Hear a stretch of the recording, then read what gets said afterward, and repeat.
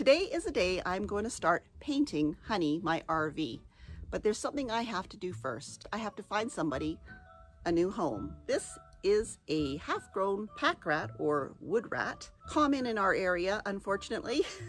this is my seventh rehoming of a pack rat. He decided to move into the attic last night, made a whole lot of noise, and I am now going to take him out, put him where I put all the other ones, which is out in the woods past where there are homes in our area. There's a creek there. So he should have a fairly nice existence out there, just not getting into my attic. That's the first thing I'm going to do today. I keep a plastic bag in the back of the car when I'm doing this so that if he pees in there, he doesn't pee in my car. Let's go.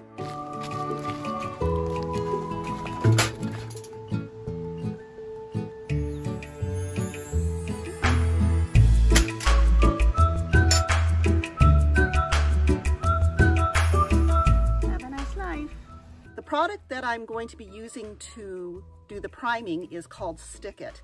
It's a very aggressive primer. It You can use it on all kinds of surfaces and the fiberglass siding is one of them. I read about this one and thought it sounded perfect for what I wanted to do with honey. I even contacted the company to make sure that painting an RV with this would be okay. And they said, yeah, definitely. So this is what I've gone with, Stick It. It's just a white primer, so I'm going to cover the entire RV with the primer before I actually cover it with paint.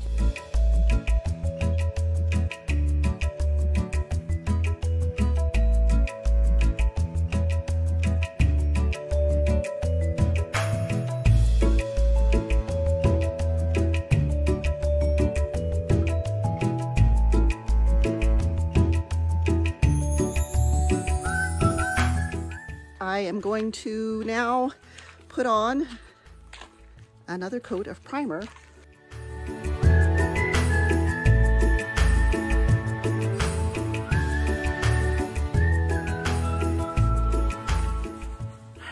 So I think that's it for primer on this side. I'm going to be doing a little bit of sanding to get some drips out and where bugs have landed in it, but I think this side is done for priming anyway. Now I only have three more sides to go. Woohoo! So I managed to get both sides and the back of Honey covered with two good coats of primer. I started on the front and I've got one coat on the front and then this happened. You can hear the rain I am hoping it's not going to wreck what I've done on the front. We weren't supposed to get any rain today. It was actually supposed to be like plus 41 Celsius, which is over 100 degrees Fahrenheit. You look out this way, you can see it's actually cloudy and now raining. I don't think it's gonna last very long though. So hopefully it's not going to wreck my primer coat on the front. Keeping my fingers crossed. I really can't complain about the rain though because it is so dry here. As you can see by my yard, which is really just the bush, it's uh, pretty dry out there. So I've pretty much finished priming honey. I've got the two sides as well as the back all finished and I've done a little bit of sanding to remove any kind of drips or spots where there was maybe a little bit of uh, the roller or something like that on there and a few bugs. I'm still working on the, the front part that goes over the cab.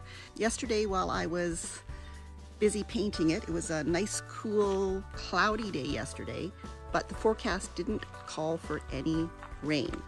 But the weatherman is usually wrong.